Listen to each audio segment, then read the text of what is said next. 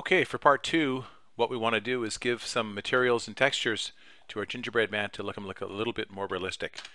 Right now, for render, this is what we see, and there's a couple of problems. First of all, the head looks like a squished golf ball, and the body doesn't have enough light. So we'll select the whole mesh, uh, as we have selected here, in object mode, and we'll click on smooth. Next, we'll go to top view, 7 on the number pad, and we'll look for the lamp. There it is. G key to grab it.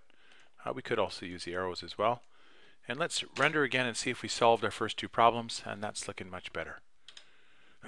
okay, next thing we're going to do is go into uh, the materials button, and we'll add a new, well, we've got a new material, we don't need to add one, but let's give it kind of a chocolate color. So let's see, that might be a little bit too dark. Uh, there we go, that looks pretty good. Sort of a molasses slash chocolate color. And if we render it, it doesn't look too bad. Uh, the only problem is you can see that it reflects a fair bit of light and gingerbread tends not to do that so we're going to drop the specularity down a fair bit and render again and that's looking somewhat better. Okay the next thing we're going to do is go from the material button to the texture button and this will allow us to make a much more complex uh, material on the uh, uh, on our 3D model. What I'm going to do is select under type, I'm going to select Stucci, and we'll render right away to have what it looks like. You can see, okay, that looks nothing like a gingerbread man or a stucco for that matter. But we can fix that. Uh, first thing we're going to do is look at that purple color. And that purple color uh, is down here. So what it's done is it's mapped our material color to our texture color. Our material color being this chocolate brown to the texture uh, color, which is this sort of purplish pinkish color. So we'll click on that and we're just going to make this dark.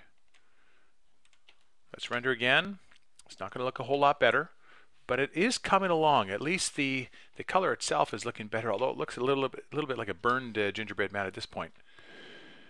Okay, next thing we're going to do is go back up and let's click on material. Gives us a little more realistic look at what we're looking at.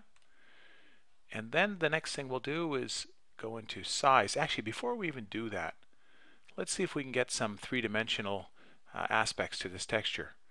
And so what I'm going to do is click on displace down here and this will let the texture displace the surface uh, and we'll render that and see how it looks. Okay, you can see that that certainly is affecting it, but it may be a little bit too much. So let's take that number down a bit. I think what we'll do is we'll I'll click on it and set it to 0.04. Not, oops, I think I missed it. 0.04. And let's render again. Okay, it's a little more subtle this time. The next thing we'll do is, I think we better do one more thing actually. I'm going to go back up and we're going to go wall in. Uh, down to normals, and I'm going to set the normal to 0.025. Well, first of all, let's render to see what the default setting gives us. And yeah, again, something clearly wrong with normals uh, at that setting at least. So we'll set it to 0.25. Actually, let's make that 0.025. Render again. Okay. And the next thing we'll do is set the size, which is right here. And we're going to take that way down.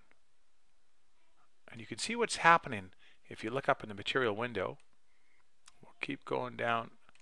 I think I'll just go 0.004 for this. And let's render it and see how it looks.